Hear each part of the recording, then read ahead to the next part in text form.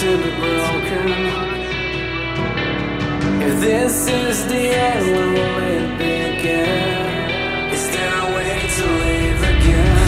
How can I dream if I was never awakened? How can it still hurt when I can feel?